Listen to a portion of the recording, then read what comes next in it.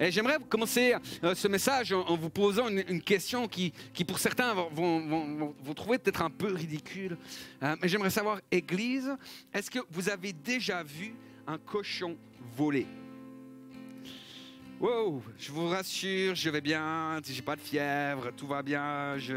Ne vous en faites pas pour ma santé, j'ai plus, plus ou moins bien dormi cette nuit, mais je crois, Église, qu'en 2021, nous allons voir de plus en plus de cochons volés.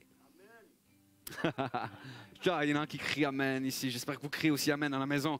Euh, vous allez voir en 2021, quand il y aura du tumulte, quand il y aura des problèmes, vous allez dire Oh, ce soir j'entends un cochon voler.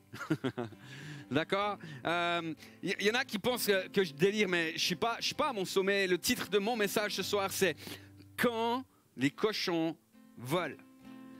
Et vous l'aurez peut-être compris, je fais référence à une histoire qui est, bien connue, une histoire qui est tirée de la Bible, qu'on trouve dans les trois évangiles syn- synoptiques, c'est-à-dire Matthieu, Marc et Luc.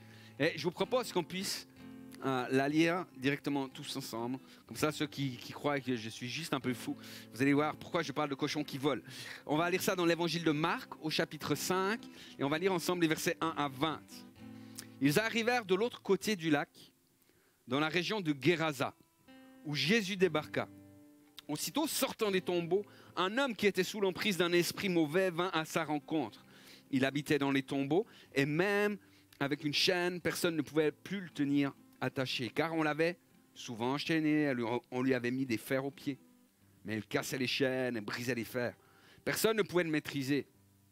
Sans cesse, nuit et jour, il errait parmi les tombes et sur les montagnes en hurlant, se blessant contre les rochers.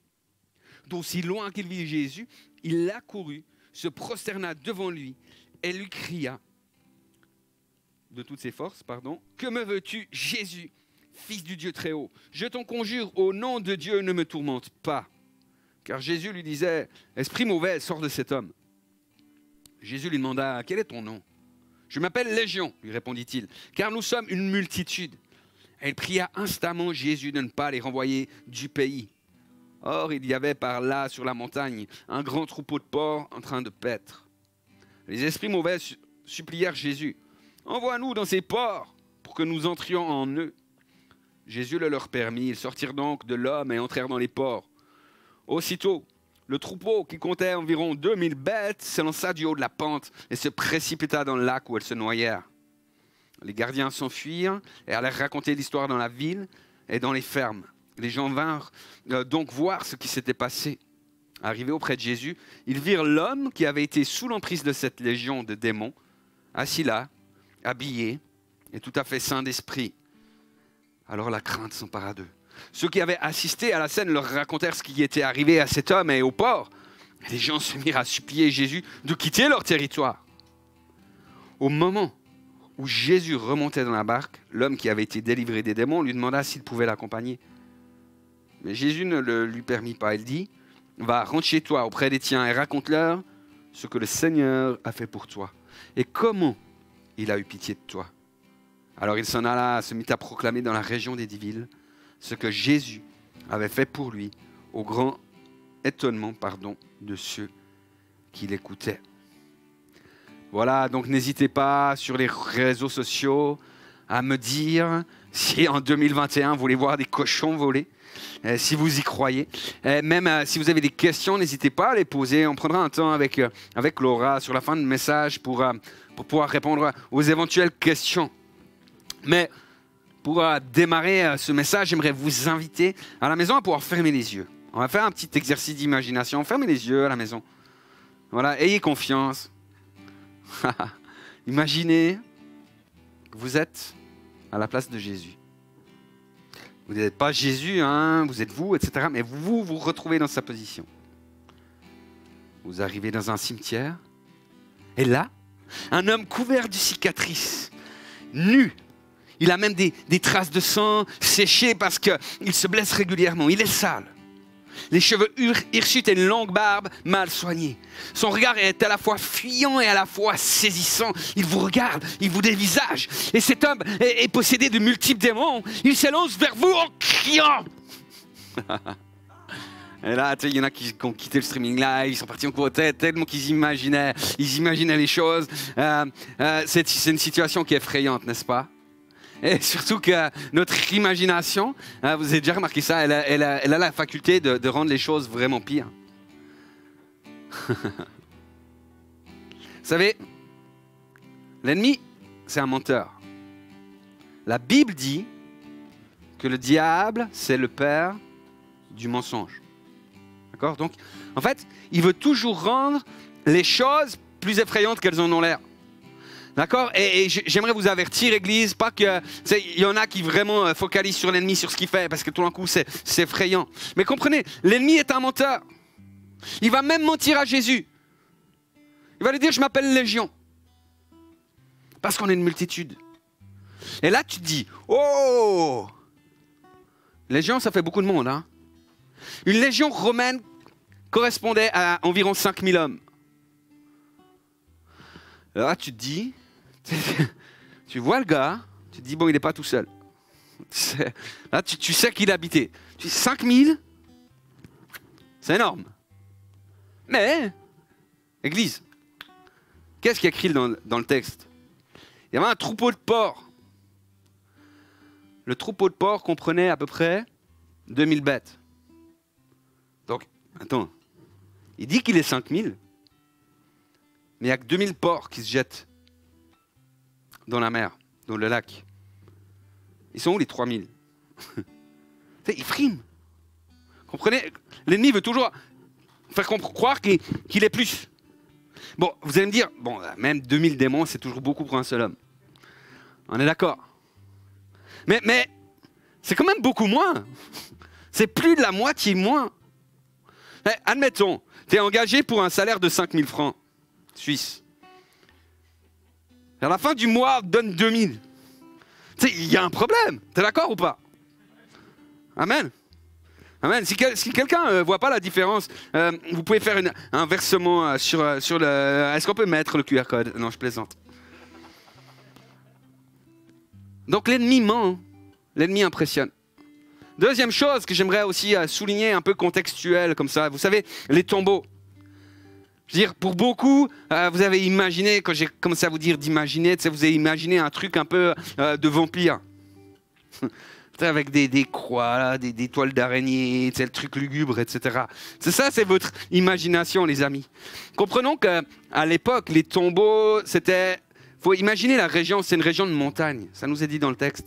Les tombeaux étaient souvent creusés à même la roche, et on roulait des pierres devant les tombes, comme pour Jésus, comme pour la tombe du Seigneur. Et euh, on était dans un territoire païen. D'accord? C'est pour ça qu'il euh, y avait un élevage de porcs. Les, Juifs n'auraient pas élevé des porcs. Et une, pratique païenne consistait à apporter de la nourriture aux défunts. Nous on apporte des fleurs, des couronnes de fleurs, des choses. Eux ils apportaient de la nourriture.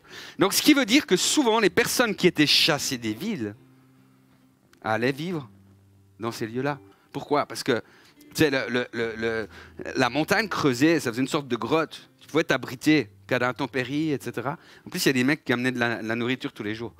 C'était livraison à, domicile, ils n'avaient même pas besoin d'application. Les, gens amenaient ça. D'accord Donc, si, si, je vous dis tout cela, c'est pour, pour, mettre les choses en relief.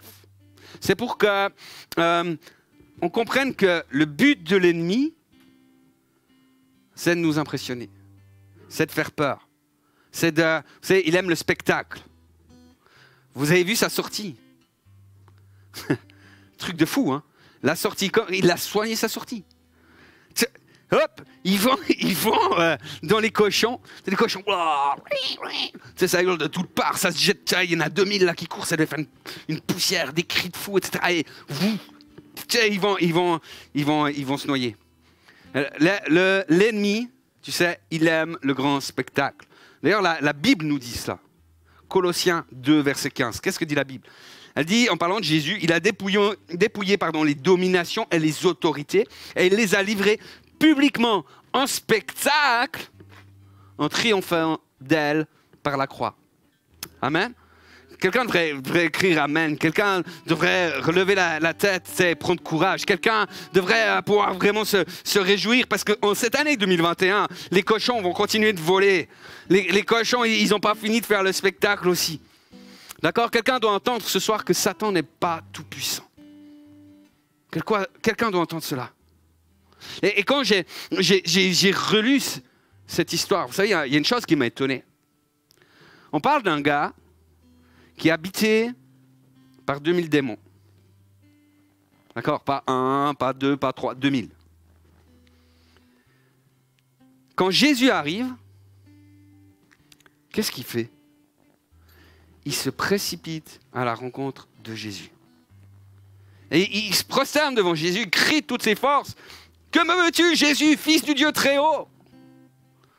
Je t'en conjure, au nom de Dieu, ne me tourmente pas. Déjà, s'il y en a qui prennent des notes, il faut se rappeler un truc. Quand un démon commence à invoquer le nom de Dieu pour se défendre, c'est que le système est mal barré. Déjà. Je dirais, mais bon, je sais pas vous. Moi, je suis à leur place. Je vois Jésus arriver. Je cours pas vers lui. Je me barre de l'autre côté. Je vais à l'opposé. Je, sais qu'il est dangereux. Ils le reconnaissent. Ils disent Jésus, fils de Dieu. Et ils, savent qu'il est dangereux. Et pourtant, ils vont vers lui.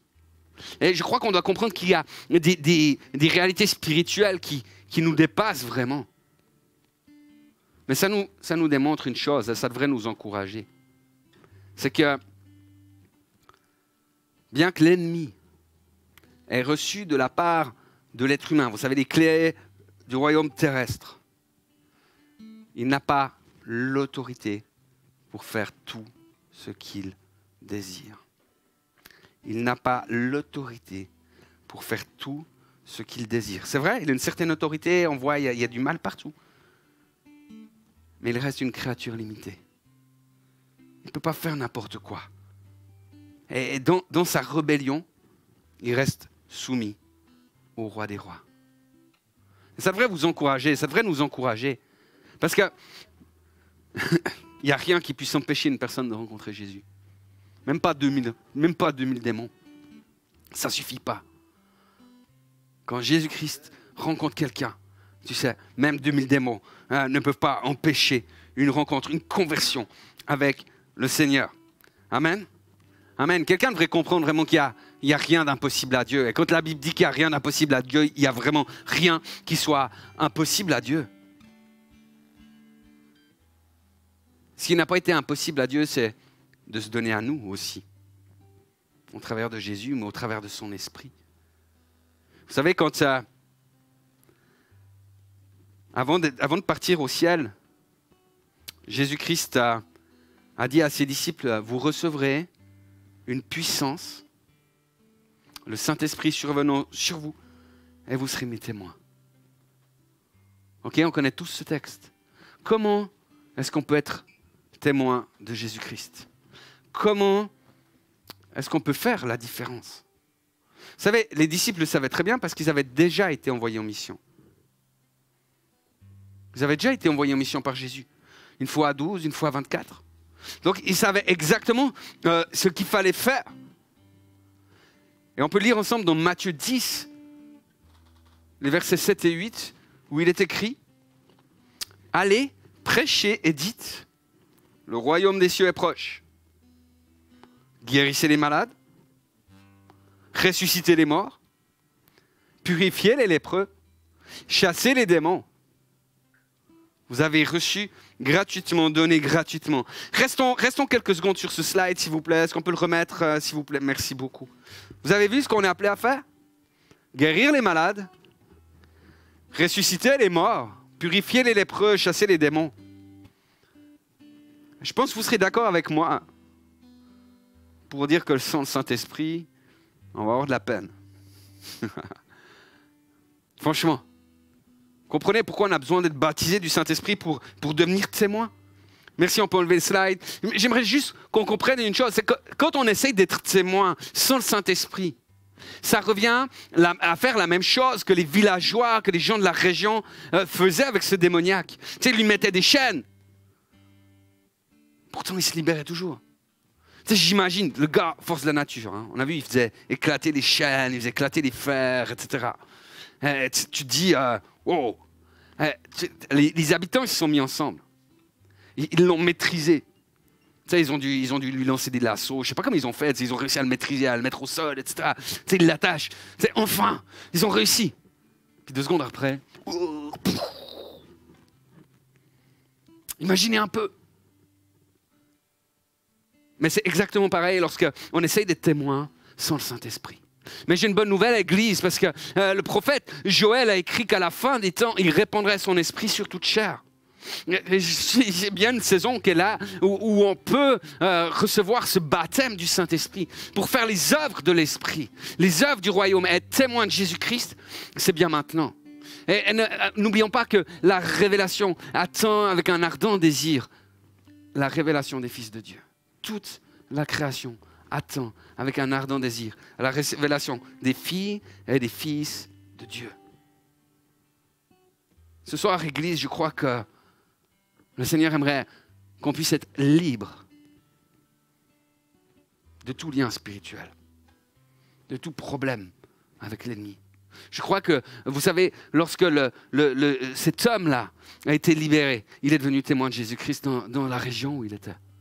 Il y en a qui disent Oh, je veux le monde entier, je veux un ministère intergalactique, etc. Pourquoi pas?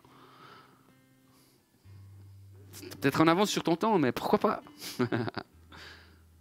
C'est pas important ça. L'important, c'est d'être témoin, euh, témoin de Jésus-Christ là où tu as été placé. Et ça, ça se passe par Jésus. Et vous savez, je crois qu'un royaume, et c'est Jésus qui dit cela, un royaume ne peut pas être divisé contre lui-même.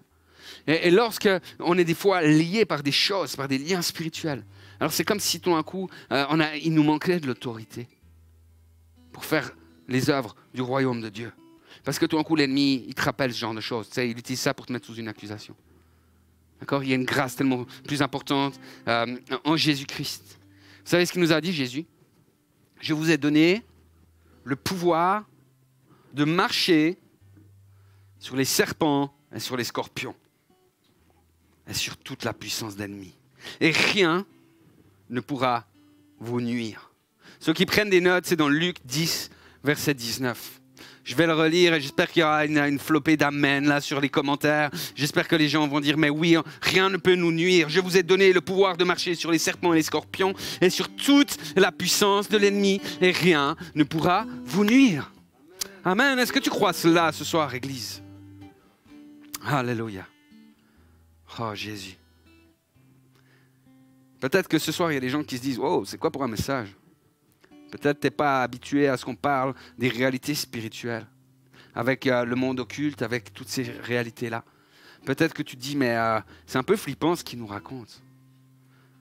Et, et ce soir, j'aimerais te dire que Jésus-Christ, et c'est le seul qui a fait cela. Tu peux regarder partout, dans toutes les autres religions, tu peux regarder partout. Il n'y a qu'un seul qui a eu la victoire sur Satan et ses démons. Et il s'appelle Jésus-Christ. Cette victoire, il l'a acquise à la croix. Et la seule manière de ne pas être sous l'emprise du diable, la seule manière de ne pas faire la volonté du prince de ce monde, c'est de, de ranger du côté de celui qui est victorieux. Et j'aimerais te dire que à la croix, Jésus-Christ a pris tous nos péchés. Il a pris toute condamnation. Lorsque tu acceptes ce sacrifice de Jésus-Christ sur ta vie, alors sur, toi, il n'y a, plus- aucune accusation qui est valable. Parce que quelqu'un est mort pour ton péché. C'est le roi des rois, le seigneur des seigneurs. Lorsque l'ennemi arrive, qui veut t'accuser, qui veut te... Il n'y a, a plus de possibilité de t'accuser. Parce que tout a été couvert par le sang de l'agneau. Si tu n'as jamais dit au Seigneur, mais je veux que tu sois mon, Seigneur, je veux que tu sois mon Sauveur. Si, si tu n'es jamais né de nouveau, j'aimerais t'encourager simplement ce soir à faire une courte prière avec moi pour te déclarer en faveur du roi des rois et recevoir le salut, la grâce sur ta vie.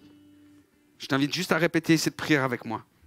Seigneur Jésus, aujourd'hui, je t'accepte dans ma vie. comme mon Sauveur et comme mon Seigneur. Je te demande pardon pour tous mes péchés et je veux recevoir ton salut maintenant.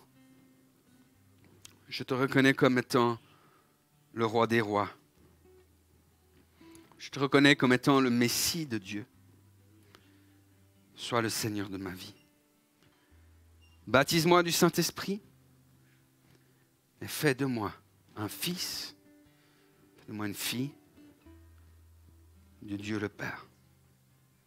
Dans le précieux et merveilleux nom de Jésus, je t'ai prié. Amen. Amen. Si tu as fait cette prière ce soir, n'hésite pas à soit envoyer directement un mail maintenant sur info gc Tu peux mettre aussi un mot, bien sûr, dans les commentaires, mais n'hésite pas, j'aimerais pouvoir prendre contact avec toi, j'aimerais pouvoir prier personnellement pour toi et, pouvoir euh, euh, voilà, euh, t'encourager dans cette nouvelle naissance, dans cette nouvelle vie qui t'attend avec le Seigneur Jésus. Je voudrais faire un appel aussi, un peu différent ce soir. Un appel pour lequel je ne vais pas prier, mais je vais vous inviter à, pouvoir vous, vous positionner et, et, vraiment à pouvoir discerner les choses. Et je crois que c'est quelque chose qui est terriblement important parce qu'il y a des personnes qui, euh, même, même sans le savoir, même sans le vouloir, exercent des pratiques occultes. Et ils le font par manque de discernement. En fait, euh, ce sont des personnes qui euh, finalement se placent sous l'autorité de démons. Et franchement, euh, comprenez bien que je ne pose pas de jugement, je ne suis pas en train de dire voilà, que Jésus ne les aime pas. Au contraire, c'est même des gens qui aiment Jésus des gens qui, qui sincèrement aiment le Seigneur. Je crois qu'elles sont sauvées, le problème n'est pas là. Mais vous savez, la, la Bible déclare que nul ne peut servir de maître. Il y a un moment, tu sais, il, il va haïr un et il va aimer l'autre. Et il y a un moment où il va s'attacher à l'un et il va mépriser l'autre. Et celui qui domine la pensée du monde, c'est le prince de ce monde. Vous savez, il y a plein de choses que propose le monde, comme on pourrait, des choses qui, peuvent être comme euh, relaxantes, des choses qui peuvent être déstressantes, qui, qui sont là pour proposer, pour faire du bien, même pour guérir parfois. Et euh, tu peux croire que c'est pas mauvais, mais la réalité c'est que ça fait, ça fait appel à des démons. On appelle ça de la magie blanche en fait. Ça paraît bien, ça paraît innocent, pourtant ça n'est pas du tout. Vous savez, je parlais de l'homme, il errait dans les tombeaux. Les tombeaux, je vous disais, c'était des lieux qui, pouvaient paraître confortables. Ils pouvaient s'abriter, ils pouvaient faire un feu dedans, ils pouvaient se chauffer. Ils recevaient à manger. Mais ça restait des lieux de mort. Ça restait des lieux où la vie ne vient pas.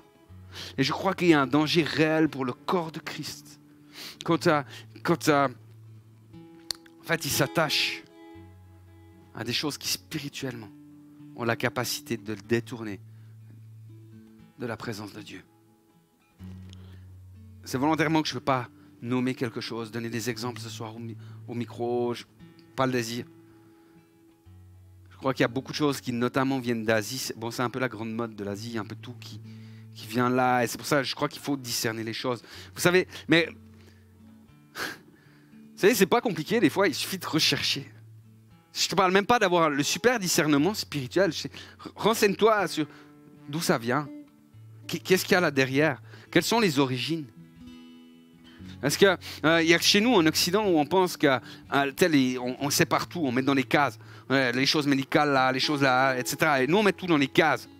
Mais en fait, dans la, plupart des pays du monde, dans, la plupart des, cultures, en fait, c'est très lié. Tout ce qui est euh, euh, santé, guérison spirituelle. Et souvent, il y, a, beaucoup d'esprits mauvais, de démons là derrière, vraiment. Donc, euh, renseignez-vous. Si jamais que vous aviez des questions que vous ne trouviez pas sur Internet, ou vous ne trouviez pas dans des livres, comme ça, n'hésitez pas aussi là encore à, envoyer un mail et puis on peut regarder cela. Mais l'apôtre Paul est très clair là-dessus. Vous savez, il dit que quand on participe à certaines pratiques, c'est comme si on communiait à la table des démons. Et donc, il y, a un danger. Simplement, si euh, ce soir vous vous sentez concerné par cela, si vous savez que ça vous concerne, Peut-être des gens même qui savent exactement euh, avec quoi ils s'amusent. J'aimerais juste vous inviter à faire ce que la Bible dit. Vous savez, quand quelqu'un, euh, dans le Nouveau Testament, quand des gens se convertissaient, ils apportaient leur livre de magie et de les brûlaient. Ils leur signifiaient ce qui allait arriver. C'était un, acte prophétique. Ils disaient ça, ça va, aller dans la GN. Les œuvres du diable vont aller dans la GN. Et la Bible est très claire. Il faut nous séparer de tout cela.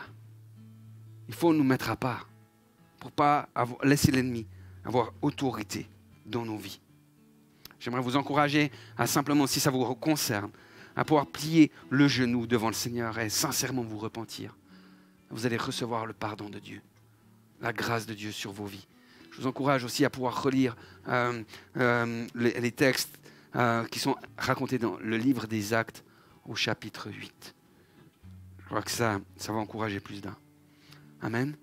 J'aimerais prier ce soir aussi pour un, domaine qui est très spécifique, qui est, où l'ennemi est très fort et, utilise ça abondamment, euh, même euh, pour les chrétiens dans l'Église, contre le peuple de Dieu. Et ça concerne tout ce qui est des liens d'âme. Les liens d'âme, en fait, c'est euh, une attache émotionnelle ou un rapport particulier qui nous unit à une personne. Et, et c'est possible de devenir littéralement lié euh, enchaîné euh, à l'âme d'une personne, par l'âme d'une personne. Il y a des liens d'âme qui sont évidemment très sains. Vous savez, il y a des liens d'âme familiaux, proches, euh, avec l'Église, etc très bonne chose, mais il y a des liens d'âme qui sont véritablement néfastes. Et, si, vous savez, de manière obsessionnelle, presque très récurrente, vous, êtes tout le temps en train de penser à quelqu'un, si vous inquiétez pour elle de manière euh, excessive, ou bien vous avez un besoin de la voir continuellement, que vous dites, ah, mais tu sais, elle me manque, etc., tu, tu, sais, tu regrettes le temps où tu passais toute ta vie avec, etc. Euh, il y, a des gens qui font aussi euh, des rêves récurrent de, cette personne, toujours ça vient, etc. Et c'est là comme, comme étant trop présent. Je pense qu'il y a quelque chose à, devoir voir avec cela. Parce que le, Seigneur veut qu'on soit libre de tout ça. Ce qui crée des liens, les liens d'âme, je veux dire très clairement, très simplement, c'est les relations sexuelles hors mariage. C'est les relations euh, adultères. Et je préciserai que même, même quand celles-ci ne sont pas sexuelles, en fait. C'est l'attachement euh, obsessionnel à une personne qui consisterait à lui donner plus d'autorité euh, que l'on en donne à Dieu même, par exemple, dans nos vies. C'est les relations de, contrôle ou encore toutes euh, les relations abusives, que ce soit des abus physiques, sexuels, émotionnels ou, ou verbales. Comprenons donc que les liens d'âme, ça peut être quelque chose où on a des pensées, etc., qui sont positives mais ça peut être des, pensées aussi extrêmement négatives. Et je crois qu'on doit comprendre que les liens d'âme sont, quand ils sont malsains, bien sûr, sont l'œuvre de mauvais esprits. Et ils peuvent nous retenir pour cela.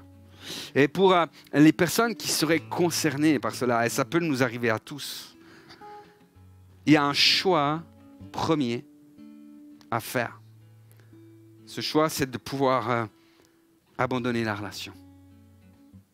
Abandonner même des fois le fantasme de la relation. Comprenez une chose, c'est que Dieu ne nous délivre jamais de nos amis. Mais Dieu nous délivre de nos ennemis. Alors j'aimerais simplement ce soir prier.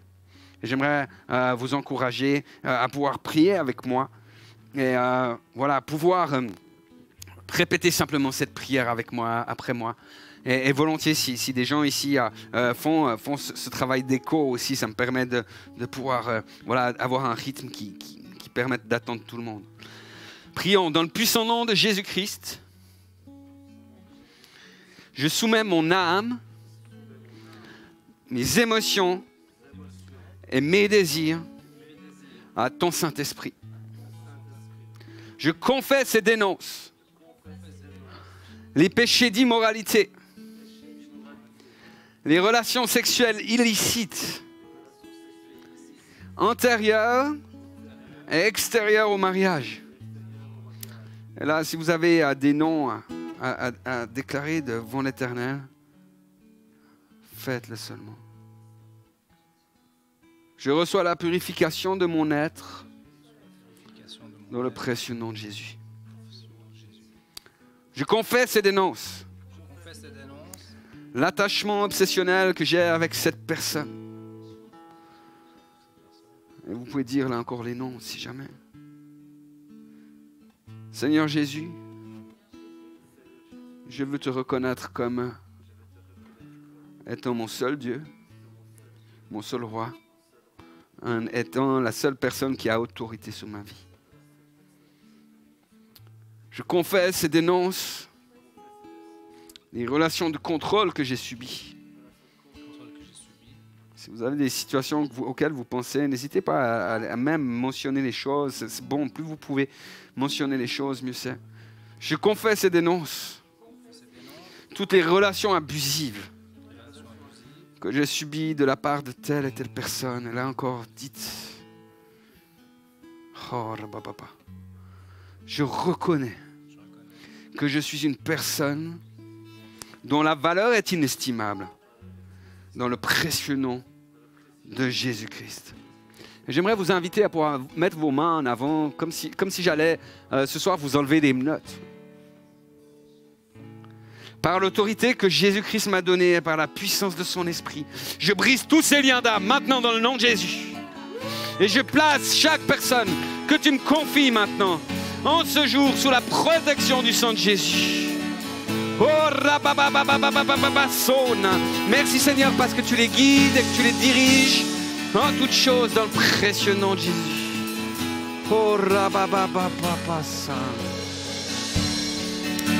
Alléluia. J'aimerais prendre. Ah, j'aimerais prendre encore autorité ce soir contre euh, les malédictions. J'aimerais vous dire, Église, qu'il n'y a pas de malédiction qui tienne pour celles et ceux qui sont en Jésus-Christ. D'accord? Proverbe 26, verset 2 dit, comme l'oiseau s'échappe, comme l'hirondelle s'envole, ainsi la malédiction sans cause n'a pas d'effet. D'accord? En Jésus-Christ, je vous disais, l'ennemi n'a plus de pouvoir de planter ses griffes, plus de pouvoir euh, de, mettre des malédictions.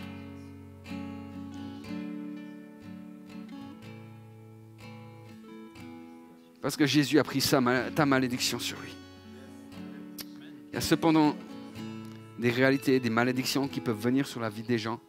Vous serez étonné, mais la plupart des malédictions qui sont sur nos vies proviennent du fruit de nos lèvres, proviennent euh, de, des paroles que l'on, que l'on prononce nous-mêmes. Comprenez que la Bible dit que d'une même source ne peut pas jaillir la bénédiction et la malédiction, les eaux amères et les eaux, et les eaux pures. Quand je critique un frère, une sœur, c'est quand je porte sur lui finalement, c'est porter sur lui des paroles de malédiction. Vous savez, ça vient se faire du latin. J'ai pas pas bien étudié la chose, mais il me semble que ça vient de là, euh, qui, veut dire dire du mal. Malédiction. Dire du mal. Bénédiction, dire du bien. Donc, quand je dis du mal des frères et des sœurs en Christ, je fais le ministère de l'accusateur des frères. Le diable n'a plus, plus le droit d'aller devant le trône de Dieu. Il était chassé, précipité sur terre. C'est pas lui qui, qui peut faire ce ministère d'accusation des frères. Mais c'est nous-mêmes, par nos paroles, par nos bouches. La Bible dit que nous avons un avocat devant le Père. Et lorsqu'on déclare des malédictions, Jésus les prend en tant qu'avocat sur lui. Pourtant, c'est comme si on se liait nous-mêmes par les paroles que l'on donne envers les autres. Je ne sais pas si tu as remarqué, mais dans le texte que l'on a lu, quand Jésus euh, interroge la personne, c'est toujours le démon qui répond. Moi, je me suis toujours demandé, j'ai dit, mais est-ce que Jésus il parlait avec le démon? C'est pourquoi Jésus il prend du temps à parler avec un menteur Cette peur du mensonge, pourquoi est-ce qu'il va, il va s'amuser à parler avec? Et je crois que Jésus n'était pas en train de parler au démon. Parce que Jésus, il n'est pas venu pour sauver les démons. Jésus, il ne s'intéresse pas à euh, qui c'est le démon, qui il est, s'ils sont beaucoup, etc. Jésus, il s'intéresse à la personne.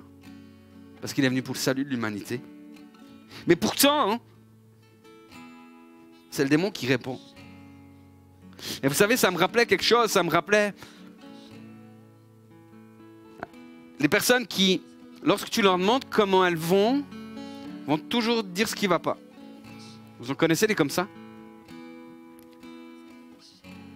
Ils disent du mal, du mal de leur vie.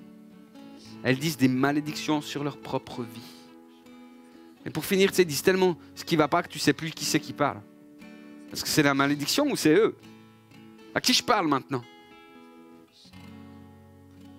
Je crois qu'une une des choses qui peut révéler qu'on est sous, sous, une telle emprise, c'est lorsque, vous savez, c'est Job qui dit, ce que je crains, c'est ce qui m'arrive, ce que je redoute, c'est ce qui m'atteint. D'accord? C'est comme si tu avais autorité pour libérer des paroles de malédiction sur ta propre vie. Quand tu dis, oh, je suis sûr que ça va m'arriver un problème, et paf, le problème, il arrive. Église, je crois qu'on doit apprendre à déclarer plus les bénédictions, la parole de Dieu, les promesses de Dieu qui sont écrites dans sa Bible. On doit apprendre à cela plutôt que de dire toutes les choses qui ne vont pas. C'est la foi. C'est la manifestation des choses qu'on espère. D'accord? La malédiction, c'est la réalisation de celle que l'on craint. Ce soir, on veut briser cela. Je crois que le Seigneur euh, euh, veut euh, libérer beaucoup de personnes par rapport à cela. Est-ce que vous êtes d'accord compris encore? Est-ce que vous êtes d'accord de déclarer le nom de Jésus sur, sur vos vies? Est-ce que on, prendra encore un temps après avec Laura? S'il y a des questions, je ne sais pas, tu me feras signe. à voir, c'est pas le cas. Donc, si vous avez encore vite des questions à marquer, n'hésitez pas à le faire. On, on peut prendre ce temps-là. Mais Seigneur, moi, je veux prier. Seigneur, je te je veux te demander pardon, Seigneur, pour cette bouche qui proclame le mal. Pardon parce que même quand je justifie que j'ai des paroles mauvaises, que je dis que c'est de la faute de l'autre, que c'est la faute de la situation, en fait, celle-ci révèle l'abondance de mon cœur. Seigneur, délie-moi des promesses des malédictions que j'ai pu dire de ma bouche. Je veux briser l'effet que cela a pu engendrer dans ma vie. Du mal que j'ai pu faire à celles et ceux qui m'entourent. Seigneur, mets une garde à ma bouche et donne-moi la capacité de tourner cette fois ma langue avant de parler. Et je veux appeler euh, mes, mes pensées captives. J'appelle un renouvellement de mon intelligence. Et je te demande, Seigneur, que par ton esprit, tu purifies ma langue, afin que ta louange seule soit sans cesse sur ma bouche. Alléluia. Alléluia, dans le nom de Jésus, je te libère de ces malédictions euh, maintenant. J'aimerais te rappeler, Église. J'aimerais te rappeler, Église, que cet homme est devenu témoin de Jésus-Christ parce qu'il a eu une rencontre avec Jésus-Christ. Si tu te demandes qu'est-ce que veut nous dire cette histoire dans l'évangile de Marc au chapitre 5, elle nous dit juste la puissance et la manifestation de la grâce de Dieu dans chacune de nos vies. Amen.